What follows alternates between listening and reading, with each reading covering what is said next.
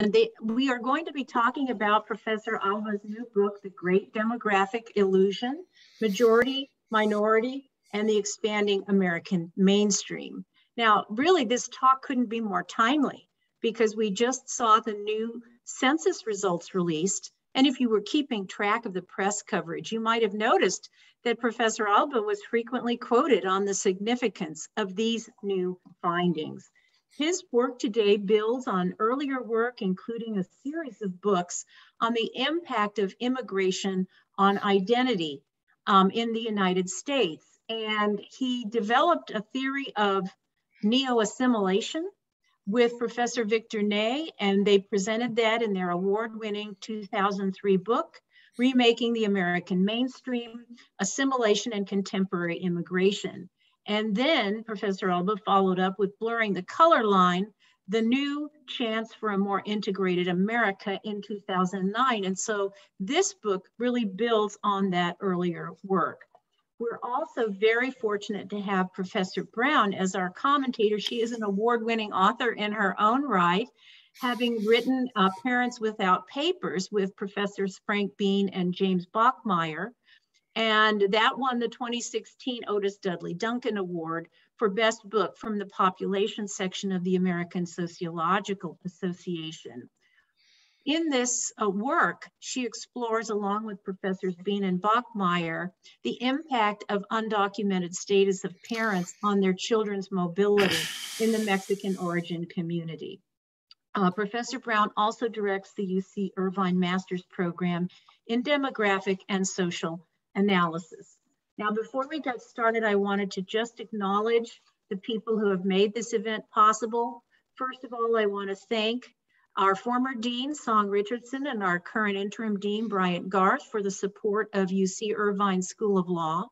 And I also wanted to thank the director, Ajay Mehrotra, and the American Bar Foundation for ongoing support of this project. Of course, resources are great, but it doesn't happen without people who turn those resources into an actual event. And I wanted to thank Robbie Kadri and Aaron Hebert here at the law school for their help in doing this book talk series. And finally, my most special thanks goes to Elizabeth Schatz Cordero, who is my research assistant, is a law student here at UC Irvine doing just terrific work in her studies and with me. And um, she is going to be keeping the queue. So if you have questions, please submit them to through the question and answer function. Elizabeth will monitor that and pose the question to our speakers. So now I wanted to let our conversation begin. Um, Professor Moran, thank you very much for the invitation. Let me see if I can get my screen share up. Okay, I think, whoops.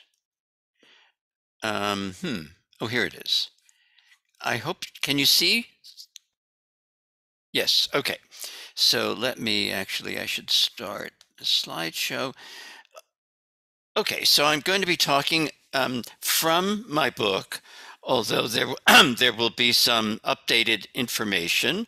Um, the Great Demographic Illusion uh, refers to um, what I see as the dominant narrative, demographic narrative about our society, um, which is the idea that by the middle of this century, whites will become a minority of the population, and minorities in the aggregate will become the majority. This is often uh, fit under the classification demography is destiny, the idea that somehow um, we can't avoid the hardness of uh, demographic facts as they unroll.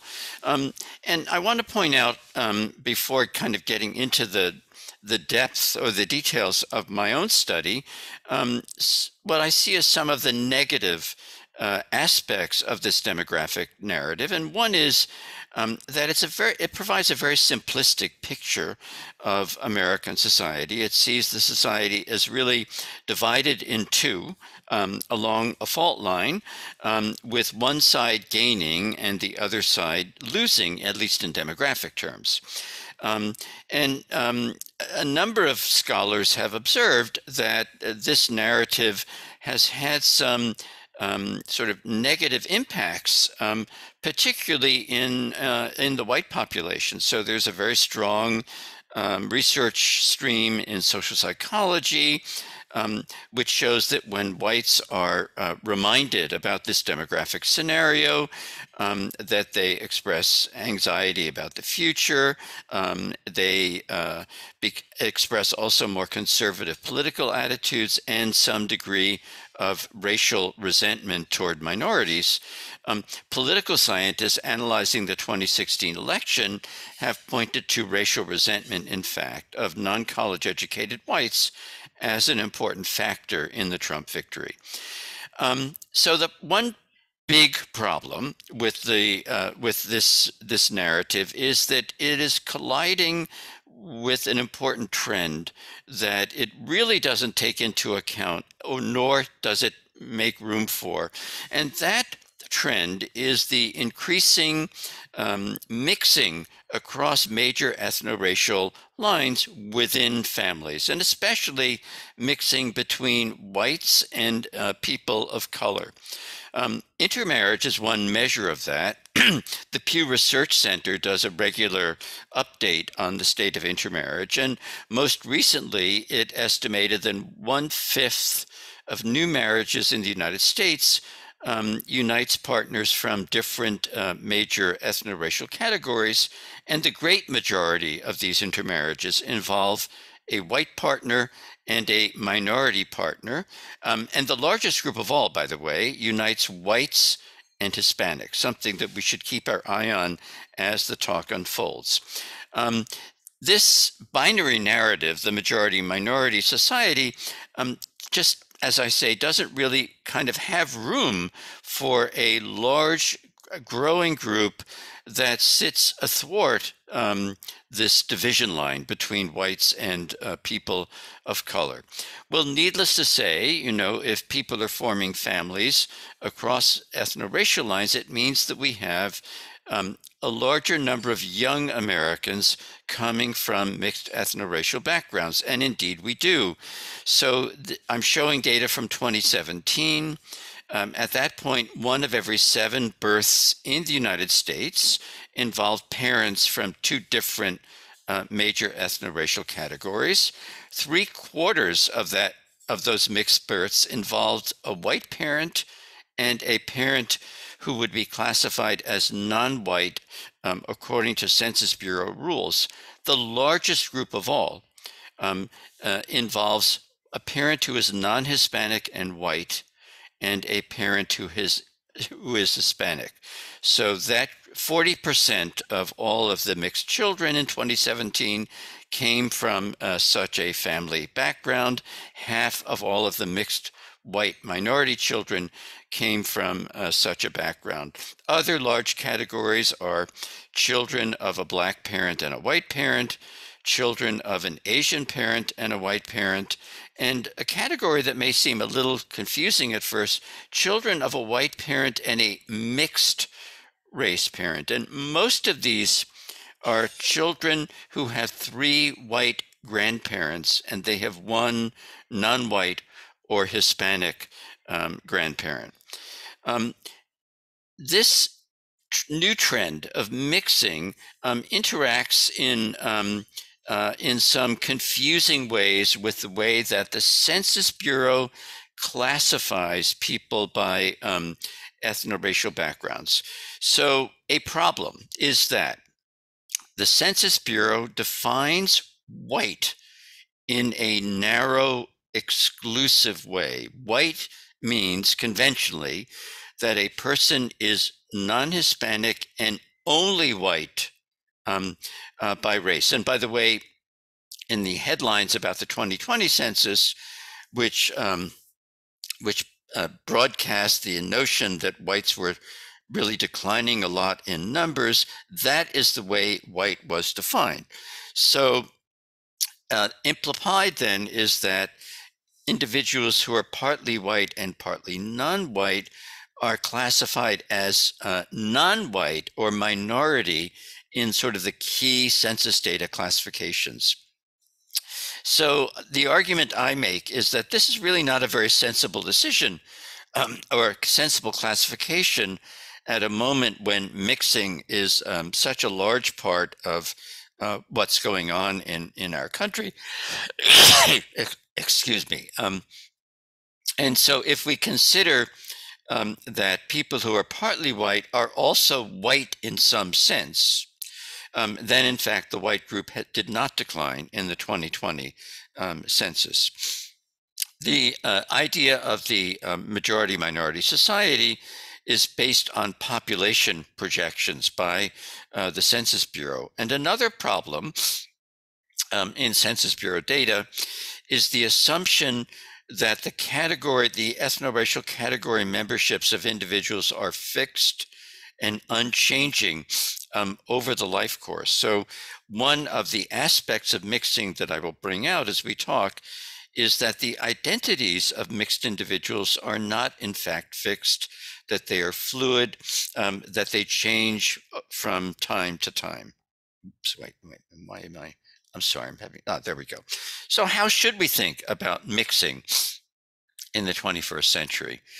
Well, I think um, mixed origins have a status in this century that they did not have previously. Um, think, for example, of the one drop rule, which assigned uh, people who were mixed white and black to the black group um, in the 20th century um, and before. It exemplifies the more general social pressures on mixed individuals to affiliate with one origin or the other. And I think what's different in the 21st century is that um, mixed individuals are not under that kind of social pressure, um, that mixed identities have a new uh, status in, in our society. And um, that's exemplified then by what I referred to as the fluidity of mixed identities, which means that people who are mixed may sometimes identify themselves as mixed or sometimes identify themselves as members of single categories. And frequently, um, that single category is white. Um, so we tend to think of race with an older sociological model of ascription, meaning that race is assigned at birth and unchanging over the life course. And this model, I argue, no longer works well in the 21st century because of the rise of mixing, the surge of mixing, especially among young Americans. Um, let me just briefly mention the idea of assimilation. Professor Moran was kind enough to refer to the theory of neo assimilation, which I think is very relevant here. And what uh, Victor Nee and I did in our book on assimilation was to kind of rethink the idea of assimilation so that assimilation no longer had to be equated in American society with becoming a member of the white majority group. That um, assimilation means not necessarily that your group membership has changed, but rather that your group membership has much less impact on where you wind up in the society and how you interact um, uh, with other people.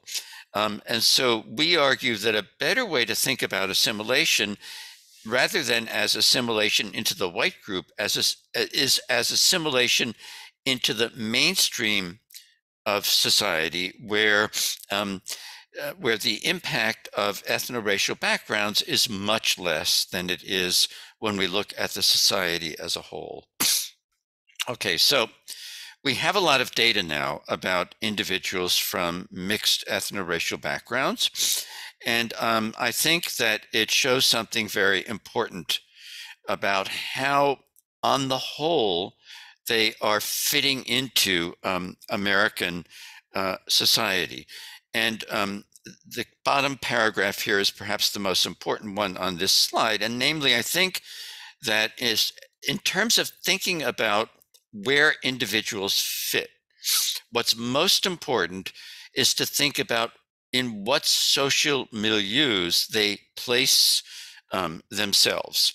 Um, and um, at this historical moment, um, the mainstream of American society is still white dominated, reflecting, um, you know, the the domination of the white group throughout American history. And so fitting into the mainstream means also fitting into social milieus in which whites are an important part of the uh, of the others in in those environments. So um, on that basis, I would say that the data that we have shows that most mixed minority white Americans, and remember, these are the majority of all people from mixed backgrounds, are in fact affiliating with the mainstream part of American society. They are not necessarily becoming white. They are therefore expanding the mainstream and diversifying it within by asserting their distinctive identities, for example. There is one very important exception. The data are very clear that individuals coming from um, a black white family backgrounds have experiences that are distinctive, uh, experiences that are much more strongly marked by um, racism than is the case for other um, mixed white minority individuals. And so we could say that people of black white background are not barred from the mainstream, but they face much higher barriers than others um, to entering the mainstream. So, what are the findings that lead me to this conclusion? Well, one is that um, mixed minority white youth start life in more favorable um, family and um, social circumstances than do minority individuals. Um, this is indicated, for instance, by the higher parental education um, in these mixed families. They are more likely to grow up in neighborhoods that may be diverse, but also have uh, many white families. They achieve better educational outcomes than do members of the uh, of minority groups other than Asians. Um, they mix with whites. They have many white friends. They live in neighborhoods with many whites as adults, um, but they don't necessarily exclusively mix with whites. And perhaps most important about where they fit in American society is that they have very high rates of marriage to whites, reflecting certainly the white presence in their social environments. And finally, their identities are fluid. Um, they are not consistent over time. Sometimes they are uh, identified as mixed, and at other times as members of single groups. Okay, let me speak a little bit about the identities, and then I'm going to go into um, identities of mixed white Hispanic individuals. So we have one study that looks at um, uh, at census data over time. How do people identify themselves in the 2000 census?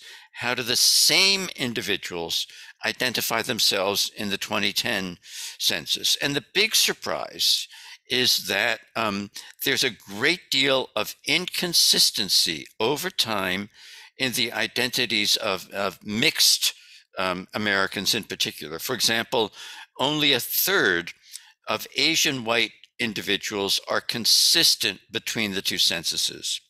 And when they identify with a single group, they tend to identify as white. Um, for black white Americans, it's also there's also a great deal of inconsistency, except now they identify um, more as black than as white. Now, we also have a study emanating from the Census Bureau, again, looking at census data, the same individuals in different census data sets over time that shows an important degree of inconsistency among Latinos. So, more than a fifth of US born Latinos do not consistently um, report themselves as Latino or Hispanic on the census. When they don't identify as Latino, the great majority um, appears as non Hispanic um, and uh, white.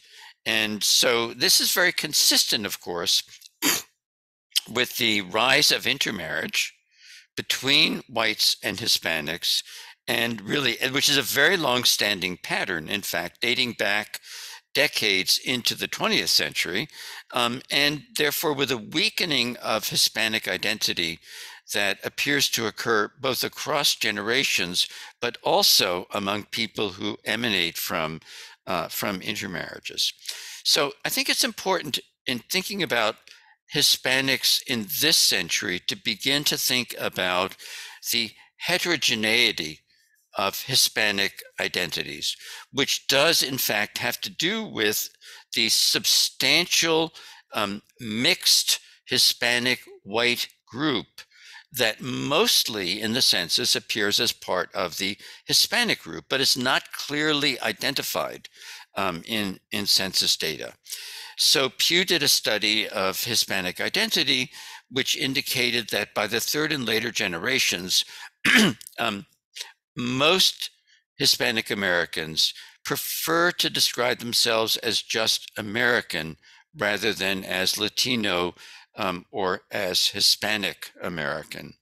Um, another data point that's relevant is that um, is a study that was done by Ian Haney Lopez, a very well-known critical race scholar, and Tory Gavito, and they uh, interviewed Hispanic voters prior to the 2020 census, and they were surprised to find that the majority of the people they interviewed did not view themselves as people of color, sort of people who are on the other side of this white minority divide in American society.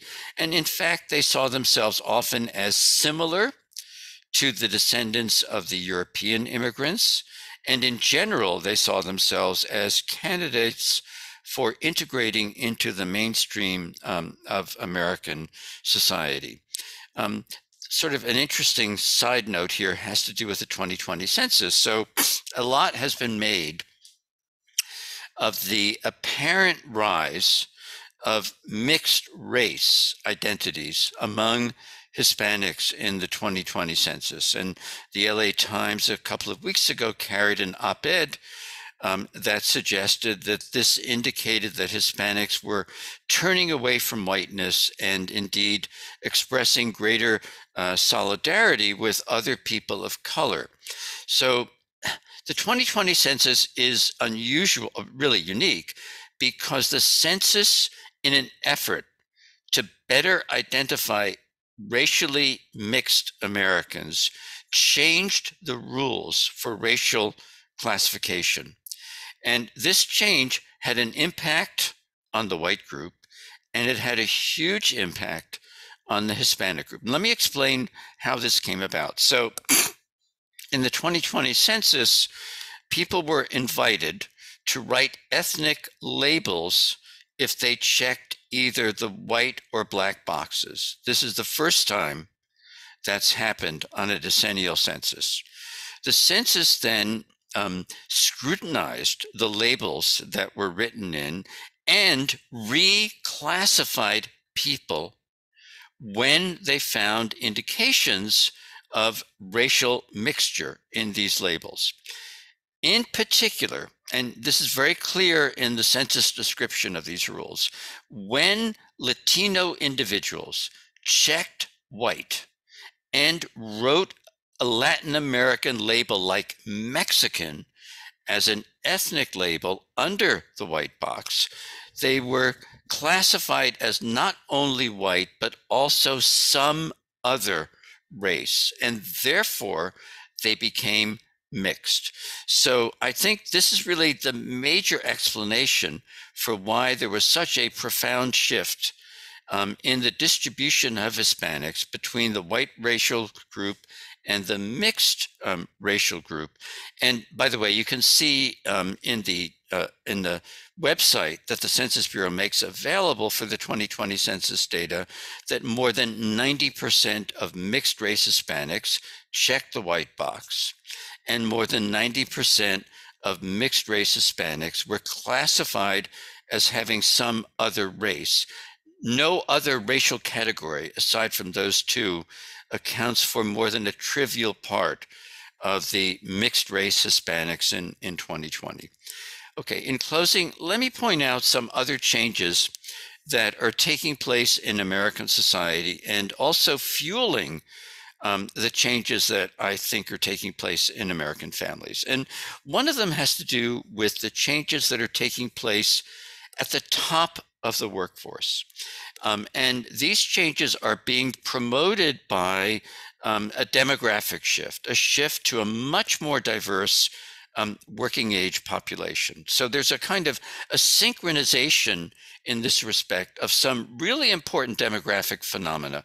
One is that the large, heavily white baby boom, the people born between 1946 and 1964 are aging out of the workforce.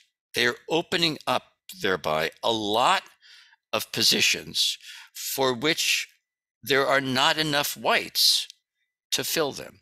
Um, because indeed the youth groups that are maturing into um, working age are much more diverse and have much smaller um, white contingents.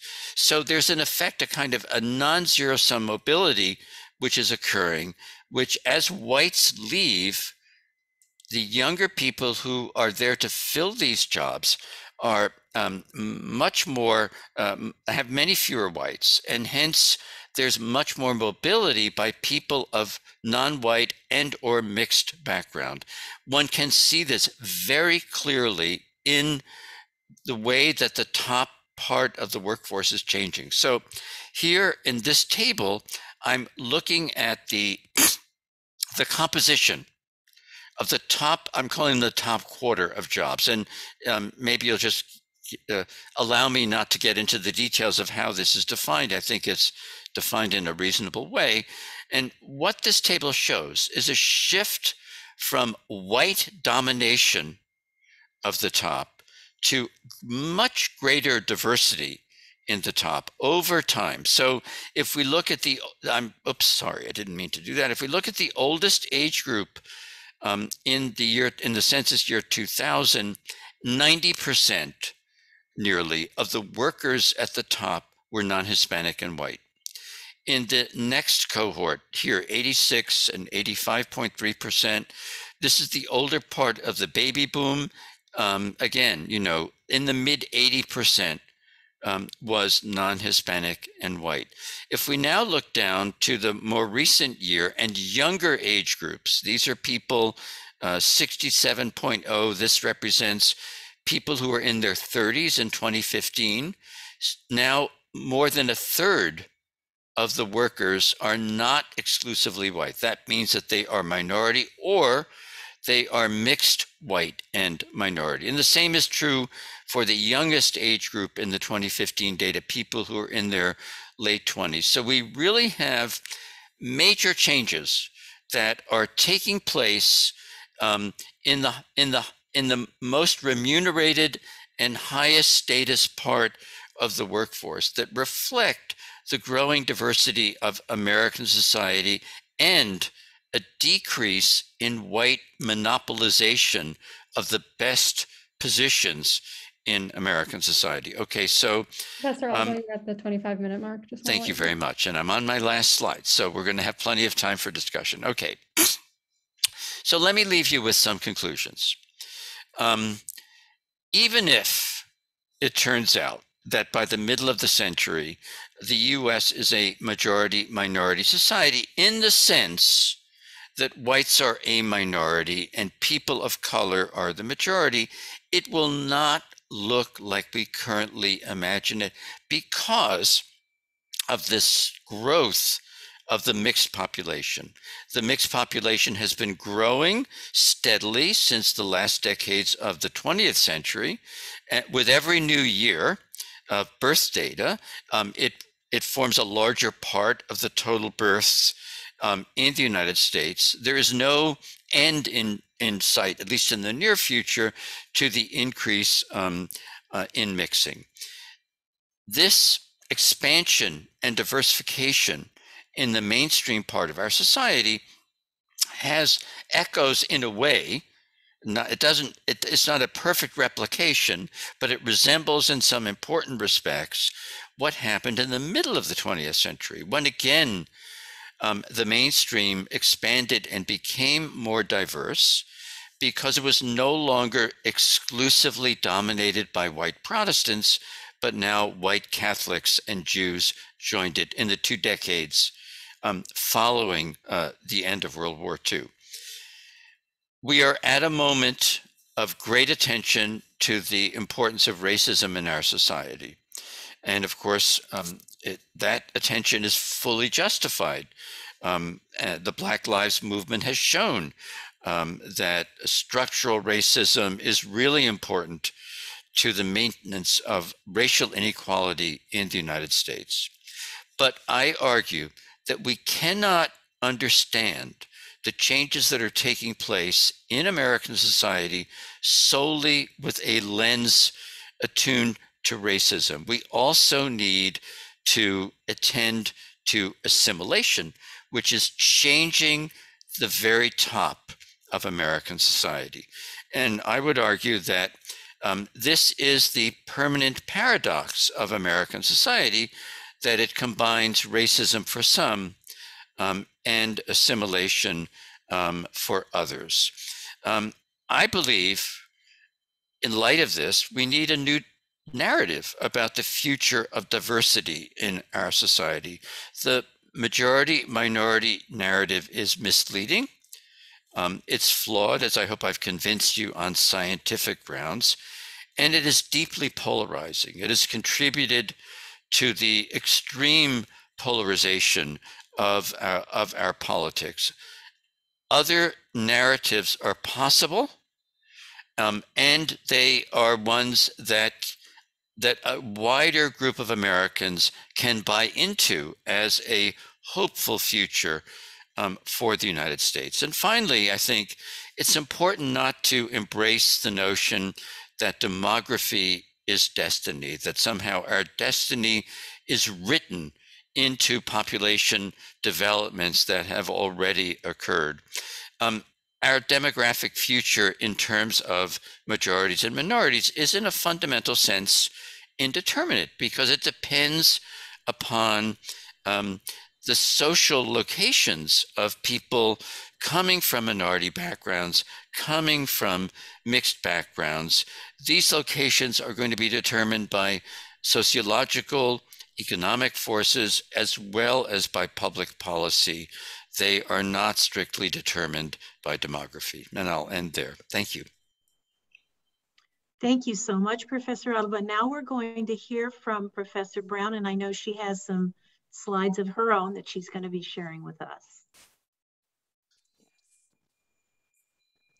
Uh, it says I can't share the screen while the other participant is sharing. Oh, I, I, don't, I think I stopped. No? Uh, help. There. Okay.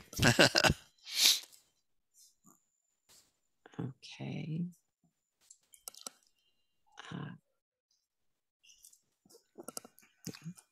Well, I would close this, but I somehow the screen won't let me. So uh, let's see. Well, it's very clear. There we go. Okay. There we go. All right. Uh, thank you for inviting me. And I appreciate the chance to comment on this extraordinary book. And it is in many ways truly extraordinary because it represents the culmination of 50 years worth of work on Richard's part, uh, his entire career. You can see elements of it brought into this book, and 50 years worth of thinking of ideas that are here, and building on the work of other scholars as well. Um, I find that the book is very big. Its uh, successes are that it is even handed, succinct in many ways, uh, very clearly written, nuanced, complicated, and brave in, in many ways. Uh, it also does a lot. And so, what I'm hoping to do in just a few minutes here is cover the highlights, the key themes, because there are there's so much in here that it, it can be easy to overlook what it does. The major accomplishments of this book, as I see it, are that it rejects the popular majority minority narrative. That's the illusion here that whites are becoming a minority population and it embraces a broader narrative. Uh, its rejection is based on criticism in large part of the way that census measures whites and non-whites by making people who have some non-white ancestry the dominant characteristic so that any kind of white ancestry doesn't show up in the census. And this is in many ways misleading, particularly in light, as he shows clearly, of the growth of a very fluid self-definition of race. The second great big thing that he does is he shows how individuals who have both white and non-white ancestry, by biracial or bi ethnic, who are now char characterized only as minorities, in many ways reflect the experiences and the outcomes of the white majority. They may not entirely reflect the experiences of white, but they're certainly leaning in that direction, suggesting that characterizing them only as minority, again, may be misleading. And he musters a lot of evidence for this. And it's uh, a, a, large contribution because it's often difficult to measure people of the second and especially the third generation and how they are experiencing life because the census doesn't give you a clear third generation. The third thing he does, and in many ways this is the most optimistic aspect of the book, is show convincingly how intermarriage eh, is expanding the American mainstream and leading to this growing mixed ancestry population. And this too shows you know, a, a lot of diversity in a very positive light. But at the same time, he is very clear eyed in emphasizing the barriers to inclusion that face mixed race persons with Black heritage. And here he is expanding on a large body of work of Herbert Gans, Lee and Bean, and many others. He gives, he acknowledges some of the other racial theories, but really comes down on a Black, non-Black divide as being crucial, a crucial divide in American society. He has more notable accomplishments. First, among these is that he ties the acceptance of immigrants to inequality in the United States. The growth of inequality has made it very difficult. It's made it easy to scapegoat immigrants, and it has slowed the ability of immigrant groups to show mobility because uh, unless the baby boom generation is retiring, uh, it's much harder for them to achieve movement upward. College is more expensive um, the ability to get good jobs is more difficult when the minimum wage has been stuck for as many years as it has. When the income distribution is very, very poor uh, for people at the bottom of the distribution, that means it's harder for immigrants who have come in there to really achieve middle class upward mobility. At the same time, he points out the reasons for this sense of grievance among Native whites who also are facing this kind of inequality in distribution and how they feel resentful and often may take it out on immigrant groups or feel that they have been left behind. And he points out the importance of higher education at public universities, which is where the mo most people are educated for immigrant group mobility. And so, someone coming from CUNY, where this immigrant mobility is really uh, a, big deal and it's a big option, I very much appreciate that. And since the University of California is a West Coast equivalent, I also want to say shout out for public universities at their ability to really provide higher education for first and second generation college students. Uh, Another thing that he does that I find out find particularly valuable is he carves out a complementary space for critical race theory and for assimilation. And he talks about the importance of critical race theory. He talks about its advantages and he talks about its limitations in looking at in assimilation theory and where the cultural mechanisms for promoting assimilation have worked. This is brave, but it is also contributing to a growing discussion of how race theory can work for immigrant groups and how there is room for multiple ways of looking at it. And last, he highlights the non-linear path of acceptance for Italian and Jewish immigrants. And uh, this is important because a lot of children of immigrants now say, well, look, they became white, you know, and this isn't happening to us. But this was a very slow and uneven process. And by showing this, he also shows that the pathways to mobility is, is a steep and often rocky one. So I find that these are all really important things that he has done. Another big accomplishment is the his promotion of a non-zero sum assimilation theory so that everyone can get ahead and no one gets behind. And he shows how this happened for European ethnics, uh, how the status uplift occurred for them in the post-war economic boom, how they could move to white suburbs and work in integrated workplaces, and how the World War II threw people together and how popular television shows help destigmatize European ethnics. Um, nowadays, he points out that this status uplift happens through education and better jobs, through the retirement of the baby boom, opening up jobs, through neighborhood integration, through intermarriage, and through greater diversity in popular culture. Uh, so these are, you know, all really big accomplishments in this book. If I had any criticism, it's it is very mild. This is kind of a flyover book. It's got big ideas, it's got a good thesis, but in his introduction, he calls it a his argument is a series of nested Russian dolls, and I found that a fascinating kind of way of describing the book. Uh, because if you have series of nested Russian dolls, you have to open one and open the other and open the next one. And I found in looking at his arguments, I thought that each of these nested dolls was worth looking at. And I wanted to take apart and look at all of them. But when you have that series of nested dolls, it's hard to do that. You know, you, do, you the totality of it is, is what you see and not each individual doll. And I really wanted to look at all of them because his arguments were so good.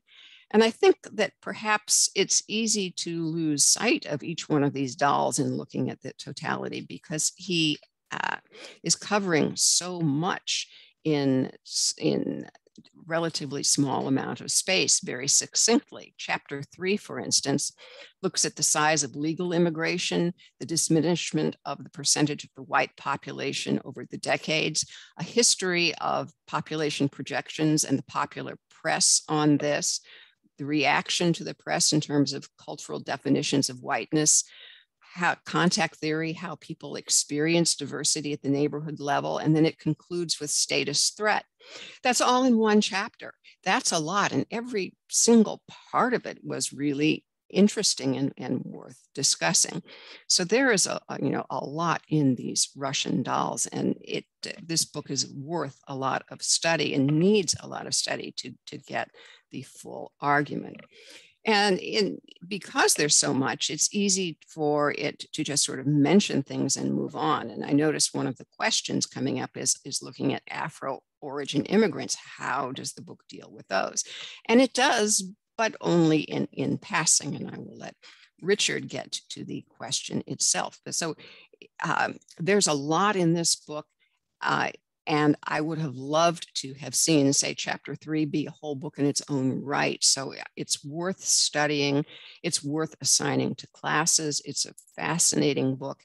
And uh, I really think that there is a lot there. I am very excited about it. I think it is a wonderful contribution overall. So with that, I will close and let people start asking their questions. Thank you so much, uh, Professor Brown, for those insights. It is a big book. I do want to give Professor Alba a chance to respond, but I also want to get to our questions.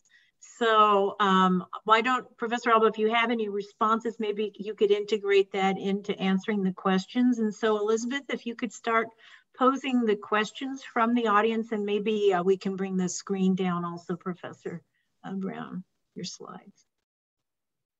Yes, thank you both so much. Thank you very um, much. The first question, Professor Alba, was asked during your conversation on census data research, and it is, does this research account for Afro-Latinos or is it focused primarily on Latinos who are of European descent? Okay, so um, that's a really good question, and I don't think that I can give a fully comprehensive answer to it.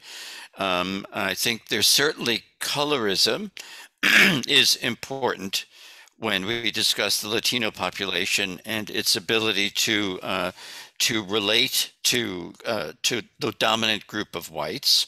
Um, I I don't think given the you know the the high levels of of marriage between whites and Hispanics, it's very unlikely that this is limited only to European descent Hispanics. But I'm certain that um, that Afro Latinos, like African Americans, face a you know a much tougher um, situation because of the racism of American society, without question. Professor Brown, did you want to add anything to that? Uh, no, no. I, I think that that's fine. Okay, the next question is, would it be fair to say that then that by the end of the century, the majority of the population will be composed of people who will be members of an ethno-racial mixed group and not of a quote minority? Uh, I, I, I don't think we can easily project. I, I would not project that far ahead. I don't think population projections are very meaningful um, when they go beyond, let's say, 25 years, because the assumptions on which they are based are likely to be falsified over over a long period of time. It's unclear how large um, the group emerging from contemporary mixing is going to be, let's say, by mid-century. It'll be much larger than it is today, but it's it's certainly not clear that it'll be the majority by the end of the century. One thing that I would add would be that the mixing will be probably geographically distributed so that we already know, for instance, that California and Hawaii are extremely diverse and extremely mixed. It's not so clear whether this kind of mixing would extend as much to places like Vermont or Maine, uh, which are the, some of the widest states and the oldest states. So where immigrants settle will have a lot to do with how diversity unfolds. That's a very good point. And we do welcome additional questions in the question and answer function. Um, in the meantime, I wanted to just ask a quick question about the politics of the demography, because you mm. present very thorough empirical analysis of a variety of issues related to demographic change but this dominant narrative may serve other purposes. And one question is, is the, is demography getting weaponized in the ways that other kinds of information well, get that's weaponized? A, that, that's a very good point. And certainly um, the majority minority narrative has been adopted by the right and weaponized in precisely the way that you're implying. So, for example, you know, very conservative commentators like uh, Tucker Carlson are invoking so called replacement theory, which holds that um, elites in the wealthy Western societies seek to replace the native white population with minorities coming from the global south um, and know, so there is a political intent um, in invoking this idea of whites declining, majorities, uh, uh, rather minorities, eventually replacing them. But I think even also on the left, there's there's some degree of, of politicization of the idea in the sense that there are some on the left who argue uh, for on behalf of minorities that well whites are going to be a minority of the population um, by the middle of the century, and therefore it's essential, you know, that the United States adopt changes that accommodate minority groups today. So yes, it's definitely the idea is very involved with the political battles that take place today in the U.S. Professor Brown, did you want to add anything on that? I think that not only is demography being weaponized, I mean, I agree with that on both the right and the left. I think the Census Bureau has been perhaps unwittingly, but it certainly uh, not critically feeding into this by the way that it has been characterizing minority populations of anyone who has any mixed ancestry being non-white. That it's a disingenuous way of getting to a population that is one, 100% count as opposed to more than 100% if someone is, is white and non-white somehow getting counted twice. Um, and the movement toward being able to check more than one box means that you, you end up with this multiplicity of boxes. And for the sake of making things easy, people try to condense the boxes. And that inherently creates the, the opportunity to politicize it. So I think that the very way that the census collects the data lends itself to politicization. Yeah, let me add to that. So I think that we can see this very clearly in the way the Census Bureau reported um, the 2020 census data. So, as I said earlier, the census made changes in the way people were racially classified in 2020 in an effort, a laudable effort actually, to better identify um, the mixed population. But when it, and it therefore, by the way, in its press release, cautioned about comparisons between 2010 and 2020 census figures for the for this what appear to be the same groups. But then in its press release, it, it ignored those cautions and invoked comparisons um, that in fact are misleading and play into this this kind of polarization. So, for example, the press release says that the number of um, white only Americans declined by 8%. And that's an extremely misleading figure because of the census changes in racial classification that took place. It's very affected, actually, by the um, by the classification of many Latinos as having mixed race um, in 2020. And it's you know it's just it's a very misleading number. It doesn't really tell us um, anything very useful about about the white population. Okay, we've got a lot of questions now, so we, Elizabeth, take it away. Um, are there useful lessons, parallels, or contrasts to be drawn from the ethno-racial dynamics in other non-U.S. societies?